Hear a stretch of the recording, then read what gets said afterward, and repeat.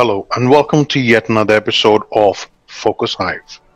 Today, we are going to talk about Sir Ernest Henry Shackleton, who was an Irish born British explorer and was a principal figure of the period known as the heroic age of Antarctic exploration.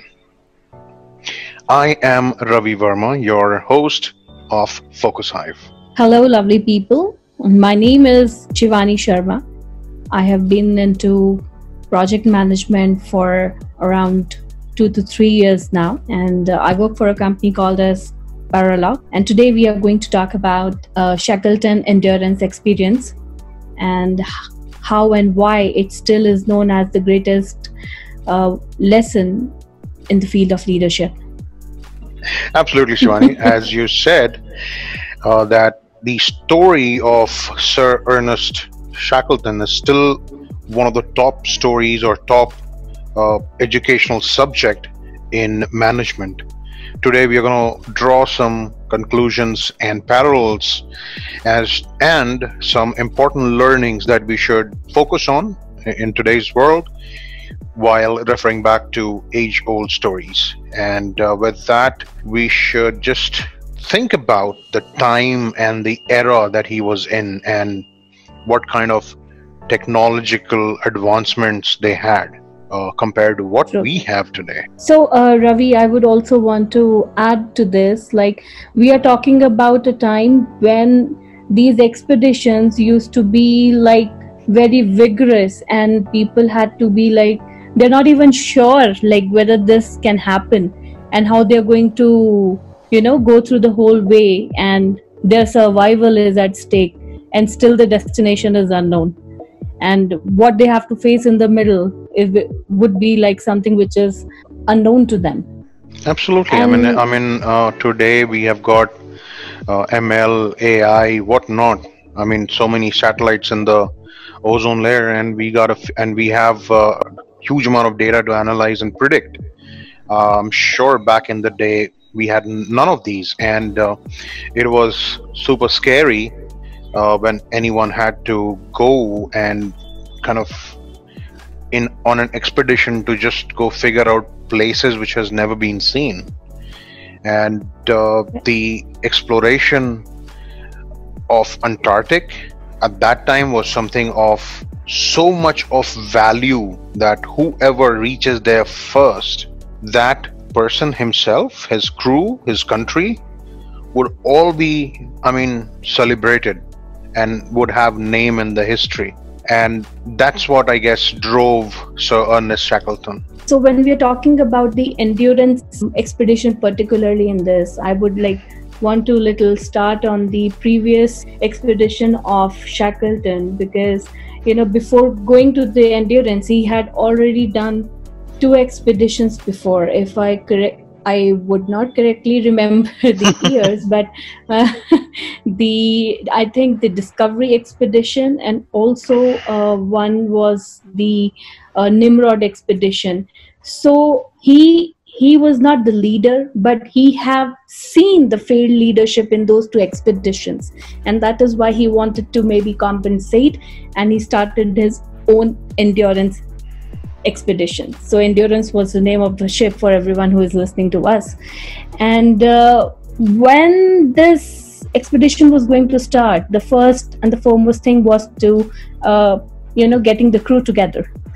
And uh, it was highly commendable on his part how he got the crew together and what he looked into them and with what competence he was taking people together that was actually quite brilliant if i speak as of today as well yeah i mean uh, if i mean we could share the uh, question or the advertisement that he had put in the local newspaper uh, to call upon for candidates for the interview process.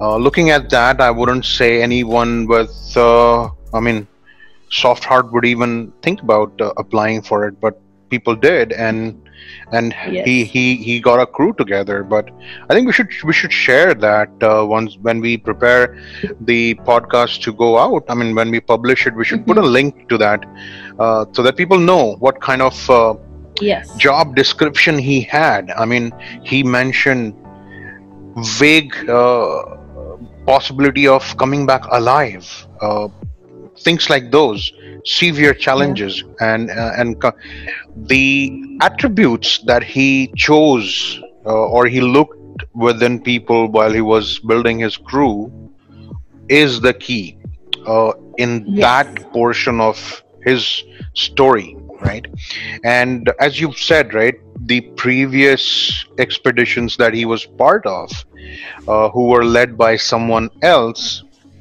and i guess he had learning of leadership through those expeditions by by visualizing and experiencing how things were not supposed to be done.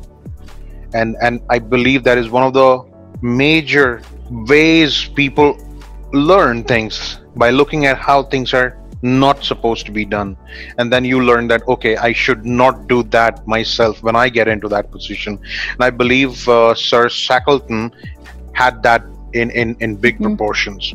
Now back to back to what you raised right? The the interview process. So yeah why don't you share more about that? When shackleton had this uh, expedition in mind and he was looking for the right crew to be in with him to be on that voyage. So he looked for people who had the right amount of attitude with them. He didn't look for experience or skill or you know whatever um, other things we look up in a candidate. Maybe grit. Uh, small amount yes it plays a, a vital role when you are into such kind of big expeditions but he wanted people with right amount of attitude because as rightly said people with attitude and a great mindset are inevitable to be success holders. So this is something that i really uh, link to in today's aspect also. When me as a manager when i go and hire people uh, after the technical rounds are done i usually talk to them something which is like out of context. I just wanted to check the nerve of the person whether he's the right fit or not how is his mindset how will he will be able to cope up with pressure and would he be able to deliver on time? What if it's there are time constraint and project is overdue you have a go live date what will he do? So that mindset and attitude is very important when we are hiring in this time as well. So this is i think the first lesson that we learn that hiring candidates with right amount of attitude. Absolutely, and I think attitude played a big role in the whole expedition. And uh, from his, I guess, from his own experience, he knew that. Uh, so that brings me to the role of an hiring manager, right?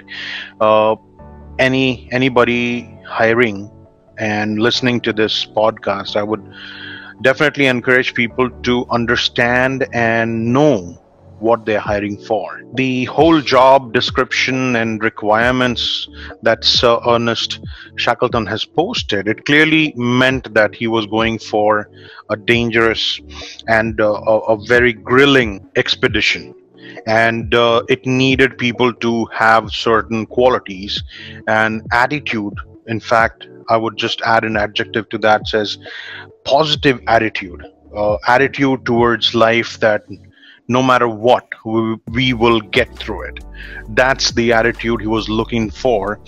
And why i'm sharing this story right there the world is full of stories. And uh, sir shackleton's story is one of the important ones but why are we sharing it today is because these attributes or these points that are being raised uh, via this story resonates with us.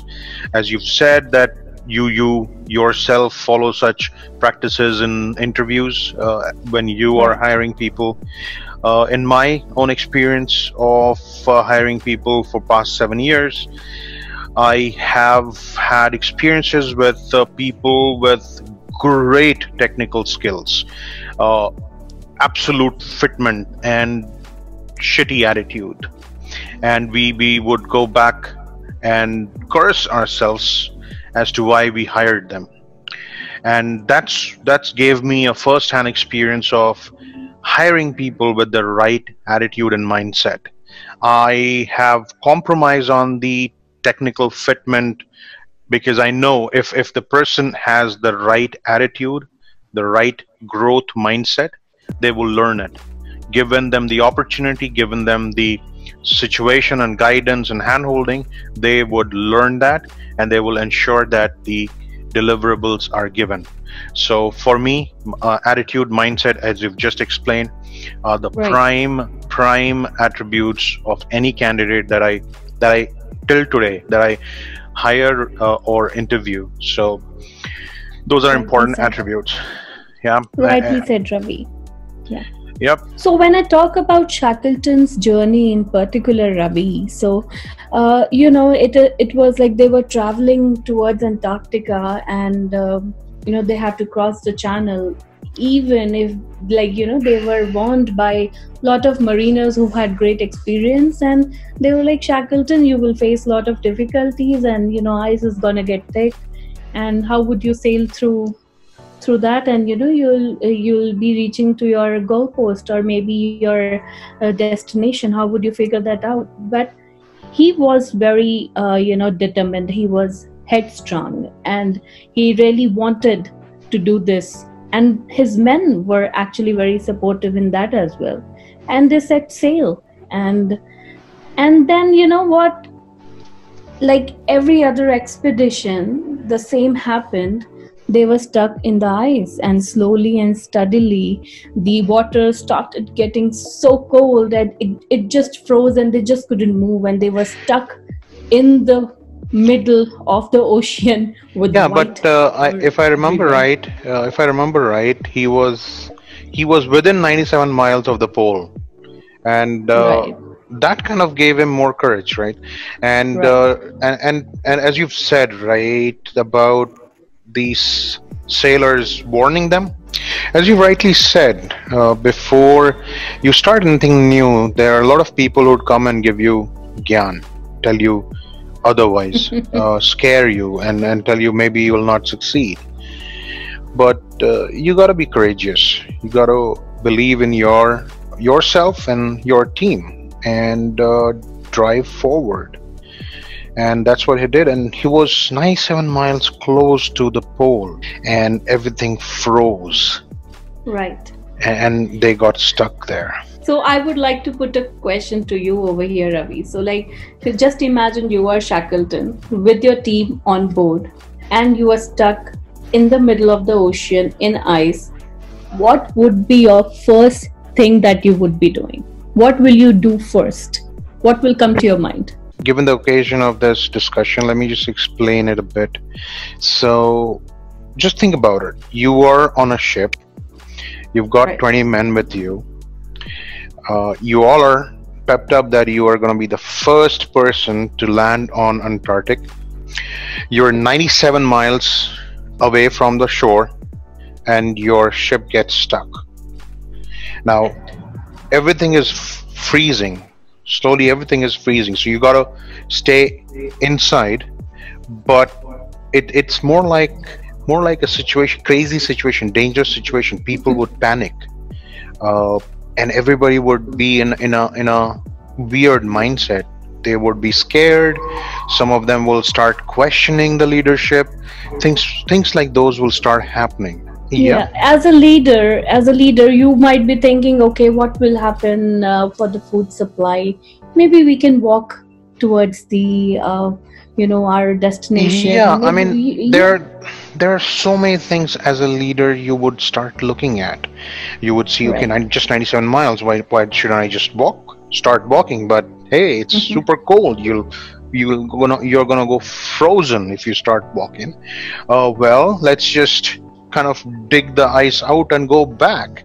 I've got 20 men. Well. Mhm. Are they ready to do that? There are so many things that you can think of. right. But to me, the first thing is to get everybody together. All Right. 20 men will be in. I mean, if you've seen a ship, maybe I've not seen a ship, but in the movies and all, we've seen it. There are small cabins, and they all are in their own cabins, scared, cold. You don't want them in that state. As a leader, you would want them out and together, warm, talking, Right. having that adrenaline pumped up so that everybody is focused towards one goal and everybody is thinking right because it's pretty easy when when you're in dark and gro- gloomy and cold place to to forget everything and just think about your own survival but there is what the leadership or the leader within you comes out if you Right. start bringing everybody together and i believe that's what uh, sir shackleton, Shackleton did, did. right Right. uh, i believe you, And- you call uh, Yeah. you call something that was a some medicine he uh, yeah, prepared, so? Shackleton was into mental medicine at that point of time because when this happened, he was like, first, what about my men? And you know, managing the uh, energy, the outlook, their engagement, and the you know the cohesion of his team was like the first most priority for him. And though he was like helping them in all the daily chores and everything and you know he was still having that thing in his mind that how do i reach my destination how do i you know um, complete my expedition that i came for. But now now you see there is a change in the mindset also right? Because first his uh, expedition was to reach the antarctic. And now slowly what has happened? He stuck. And now for him his men have become more important. He have to take care of them. And he started you know playing games and you know they uh, started having dog races and you know he kept his men very engaged at that particular point of time. But you know over the period of time when you see uh, it really becomes very uh, difficult also to engage people all the time and when you feel that it becomes a part of a leader. It becomes on the attribute of the leader that how he's keeping his team engaged. Now if you connect to the today's time when we're all working from home in this pandemic uh, it's a great responsibility on the shoulder of the leaders how they're going to drive their team how how they will have the cohesion in them and how they will be managing their energy as one. Right ravi So- Absolutely, absolutely, and uh, that's where I wanted to bring out a thought that what Sir Shackleton did was to bring in mental medicine, bring in everybody together on the deck, having games and and, and plays and music and whatnot. But that would only sustain for that much time it is n it, it is yes it's gonna bring a freshness of breath and everybody would get kind of little bit of excitement. But if you keep doing that they will it'll go stale. So the most important thing along with that right along with that you got to keep your men you got to keep your team engaged in meaningful work not just fun and games and that was something brilliant in Sir Shackleton's story. That what he did when he realized that the ship was tilted halfway on one side, right and and they had to abandon the ship. They all came out of the ship, made tents outside on the frozen, uh, frozen water, and they they were ensuring that everybody was engaged by meaningful work. You go hunting, you go fishing, you you make tracks, everything that could make them survive that harsh cold temperature. And people those 20 men if you don't give them work a free mind is devil's place. And that is exactly what would happen if you don't give them enough work. And uh, i believe sir shackleton did that amazingly. And at the same time he also did something very crucial right? Uh, there is a proverb which is keep your friends close but your enemies closer.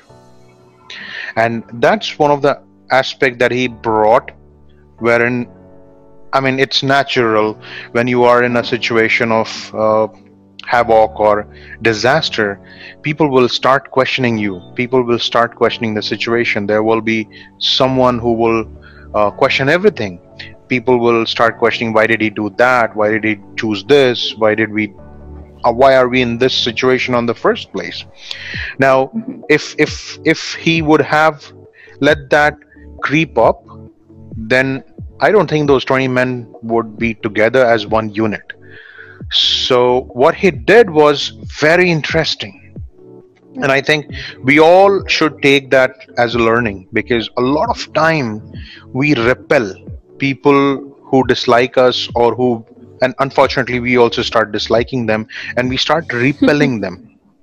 And what he did was instead of repelling people who was questioning him he attracted them. So they had all the tents outside for everybody. So what he did he made the tents or he ordered the tents for those four or five people who were questioning his authority to be housed in the same tent he was in. So so that he could have that gelling that buddy that relationship going on so that he could explain them things in a much better way and then get them on on his own side which was which was amazing. When i when i read this and i heard the story i was like whoa that's crazy because it's so easy for us as human beings to start despising people who are talking against us. But then again as a leader you have to ensure that you take the right step.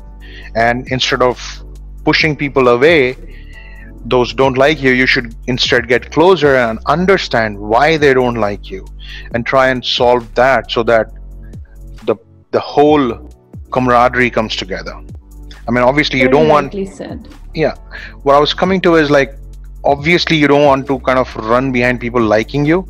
That's not the point. But the camaraderie is the point wherein people listen and understand and take decisions based on right facts and figures instead of uh, blind followers or just yes mans right? You don't need all of that. So that's another aspect i wanted to bring. And and i believe that was that was the most important aspect as well otherwise he, his team would have been broken into pieces Right, right. So, uh, Ravi, most of it I resonated with, you know, when the loss of endurance happened. So, we, you, we, you were telling me that you know the ship was tilted, and it was like visibly, you know, into the um, ice. And you know, one fine day when they were all in their tents, and you know, they could see that the ship is like tilting, tilting, and just going into the ice. And within you know few minutes it just ice just you know shut off on the ship Yeah, and the you know, ice just it ate was yeah you know we say uh, whatever the ice gets the ice keeps if i'm right absolutely and uh, at at that point of time shackleton was so heartbroken. I i think so he wrote in his diary like today we lost the endurance. I cannot speak more. And uh, at that point of time you see the shift of his uh, leadership the goal uh, of his mission now have changed. Earlier the expedition was the goal. And now what is the goal for him is like you know how his men will survive or how he will lead them to the survival or how will i help them believe that they can even survive? So you know that's when he uh, you know started having those uh, uh, sessions and in those tents where he started uh, you know keeping his um, you know fr- enemies closer. Because you know he wanted to continuously assess because his mission have now changed and uh, people have to you know uh, realign themselves to adjust to this. And he has to show that commitment to that objective that his mission have changed. So you know you have to be very flexible around it to achieve it and that you can do only with a great uh, mindset or attitude know he showed that kind of commitment uh, to the changing objective now that he has in mind.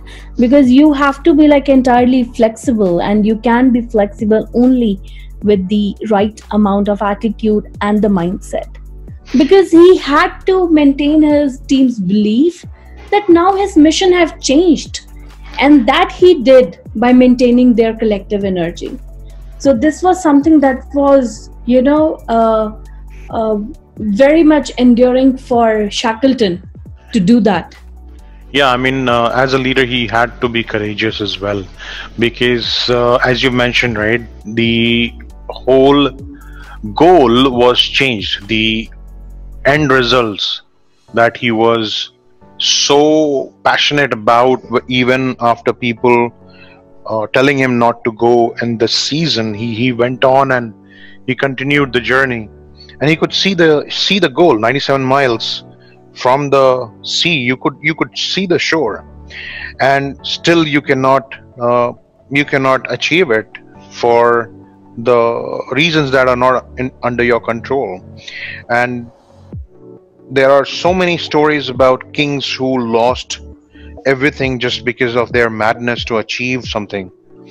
But right. at here, uh, Sir Shackleton pivoted, and that's one of the key aspect what he did in his whole whole journey. And yes, that that super duper goal of achieving a human being, the first human being reaching Antarctic at that age uh, and time would have been something different but then he gave more importance to the life of 20 men that he had and he knew uh, going and reaching that goal of 97 miles if even if he walks and reaches there he would lose many people probably he'd lose himself as well and it would not be a success without the whole crew i guess that's what was going on his mind. Uh, and then he decided against achieving that goal rather than achieving another goal that he made for himself, which was returning back safely, ensuring everybody was safe, alive when he reached back home. And God's will, everything turned out well for him. Uh, not i wouldn't say turned out well because they had to put a lot of effort and uh, courage and and their skills and and reach land but right. this is the whole story i mean when you read the story or listen to the story everybody has their own set of learnings their own set of understanding between you and me uh, i read it you read it we listened to this story. And when we were talking, not in this podcast, but before this, when we were talking, there were classic items that just you grasped, and there was few things that that resonated with me.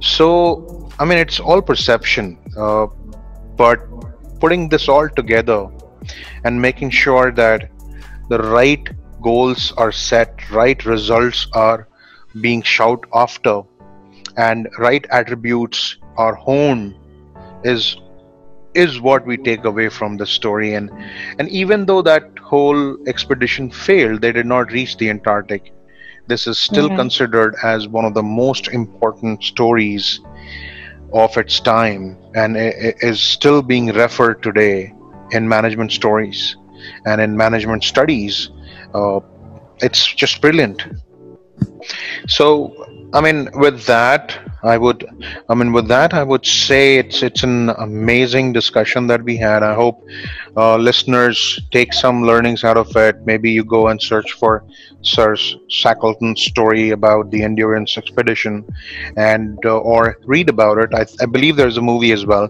but uh, there, there are tons of content on his story and, and learnings that one can get so for our listeners you know they might be thinking that what happened to shackleton after that because he was like almost around 400 uh, days on ice and then what happened next?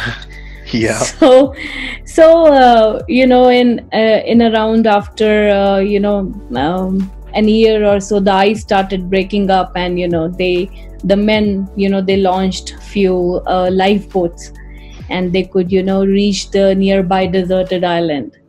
And uh, from there they planned their next move and you know uh, from there they got rescued. So it's a story for all the listeners to go back and read about. I'm just closing it on like they were finally rescued by big vessel. So that is one thing that i wanted to add.